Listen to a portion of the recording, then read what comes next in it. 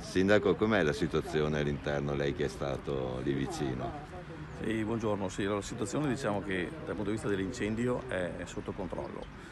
Eh, parlavo anche prima con il responsabile dei, dei vigili del fuoco, però di fatto hanno il problema che eh, poiché ci sono ancora temperature elevate all'interno c'è il rischio di crollo della, della copertura e quindi non si azzardano ad entrare. Quindi eh, diceva che adesso attenderanno così che si consumi la parte di materiale che si raffreddino le strutture per poter entrare e quindi bagnare e smassare il tutto in maniera da, da poter bagnarlo. Comunque diciamo da un punto di vista eh, del, del, fabbricato situazione sotto controllo.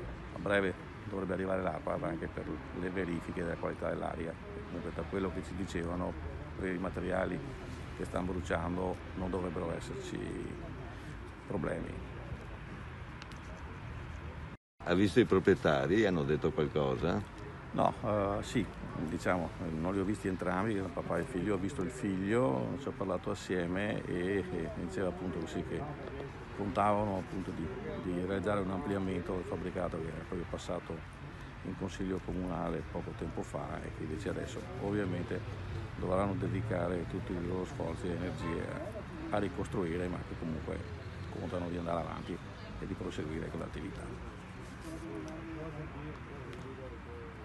Grazie. Posto così.